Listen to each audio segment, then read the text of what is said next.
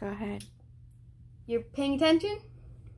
As much as I'm able to. Okay. Dear Mommy, here are some reasons on why you should let me go to Anaya's birthday at the Springs. Number one, it's a one in a lifetime opportunity to go to the Springs. Number two, since I'm doing online school, I don't need many school supplies and I don't need a backpack, so that's a plus. Number three, I could buy my own school supplies to save you money. Number four, Anaya really wants me to go. Number five, I promise to behave really, really good. I've heard that before. also, me and Anaya have been talking about this for over a month, and we've been waiting and getting our hopes up. So, if you want to make my whole year, wow, please consider letting me go to my best friend's birthday party at the spring. Love, your favorite daughter in the whole entire universe, Erica.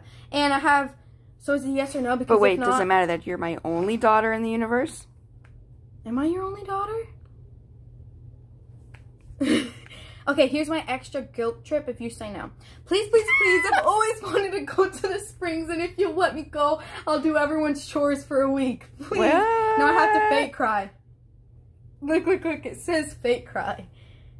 and look, it took me forever to write all of this, Mom. Please. Oh my goodness.